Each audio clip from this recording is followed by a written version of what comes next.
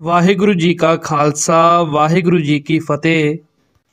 ਸਾਧ ਸੰਗਤ ਜੀ, ਜੇਕਰ ਤੁਹਾਡੇ ਘਰ ਪਰਿਵਾਰ ਦੇ ਵਿੱਚ ਗਰੀਬੀ ਹੈ, ਮਾਇਆ ਦੀ ਬਹੁਤ ਕਮੀ ਹੈ, ਅਨਾਜ ਦੀ ਕਮੀ ਹੈ, ਤੁਹਾਡੇ ਸਿਰ ਤੇ ਕਰਜ਼ਾ ਵੀ ਬਹੁਤ ਭਰਿਆ ਹੋਇਆ ਹੈ। ਇਹਨਾਂ ਸਾਰੀਆਂ ਸਮੱਸਿਆਵਾਂ ਦਾ ਹੱਲ ਗੁਰਬਾਣੀ ਦੇ ਇੱਕ ਸ਼ਬਦ ਦੇ ਵਿੱਚ ਹੀ ਗੁਰੂ ਸਾਹਿਬ ਦੇ ਵੱਲੋਂ ਦਿੱਤਾ ਗਿਆ ਹੈ। ਅੱਜ ਜੋ ਸ਼ਬਦ ਤੁਹਾਨੂੰ ਦੱਸਣ ਜਾ ਰਹੇ ਹਾਂ, ਇਸ ਦਾ ਜਾਪ ਤੁਸੀਂ ਦਿਨ ਦੇ ਵਿੱਚ ਕਿਸੇ ਵੀ ਟਾਈਮ ਕਰ ਸਕਦੇ ਹੋ। ਪੂਰੇ 40 ਦਿਨ ਤੱਕ ਹਰ ਰੋਜ਼ 108 ਵਾਰ ਇਸ ਦਾ ਜਾਪ ਕਰਨਾ ਹੈ।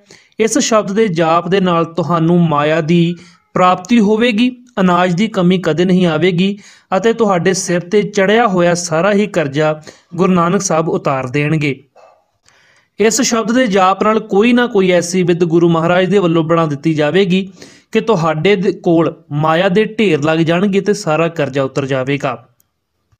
ਇਕਾਗਰ ਮਨ ਚਿਤ ਕਰਕੇ ਇਸ ਸ਼ਬਦ ਦਾ ਜਾਪ ਕਰਨਾ ਹੈ। ਆਓ ਹੁਣ ਸ਼ਬਦ ਦੀ ਸਾਂਝ ਪਾਉਂਦੇ ਹਾਂ।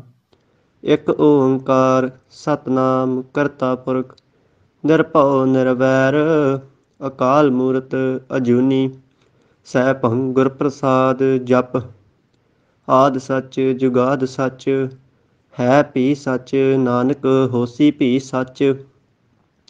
ਇੱਕ ਓੰਕਾਰ ਸਤਨਾਮ ਕਰਤਾ ਪੁਰਖ ਨਿਰਭਉ ਨਿਰਵੈਰ ਅਕਾਲ ਮੂਰਤ ਅਜੂਨੀ ਸੈਭੰ ਗੁਰ ਪ੍ਰਸਾਦ ਜਪ।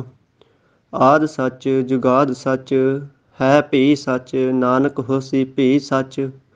ਇੱਕ ਓੰਕਾਰ ਸਤਨਾਮ, ਕਰਤਾ ਪੁਰਖ ਨਿਰਭਉ ਨਿਰਵੈਰ ਅਕਾਲ ਮੂਰਤ ਅਜੂਨੀ ਸੈਭੰ ਗੁਰ ਪ੍ਰਸਾਦ ਜਪ। ਆਦ ਸੱਚ, ਜੁਗਾਦ ਸੱਚ ਹੈ ਭੀ ਸੱਚ। ਨਾਨਕ ਹੋਸੀ ਭੀ ਸੱਚ। ਇੱਕ ਓੰਕਾਰ ਸਤਨਾਮ ਕਰਤਾ ਪੁਰਖ, ਨਿਰਭਉ ਨਿਰਵੈਰ। ਅਕਾਲ ਮੂਰਤ ਅਜੂਨੀ ਸੈਭੰ ਗੁਰ ਪ੍ਰਸਾਦ ਜਪ। ਆਦ ਸੱਚ, ਜੁਗਾਦ ਸੱਚ, ਹੈ ਭੀ ਸੱਚ। ਨਾਨਕ ਹੋਸੀ ਭੀ ਸੱਚ। ਵਾਹਿਗੁਰੂ ਜੀ ਕਾ ਖਾਲਸਾ, ਵਾਹਿਗੁਰੂ ਜੀ ਕੀ ਫਤਿਹ।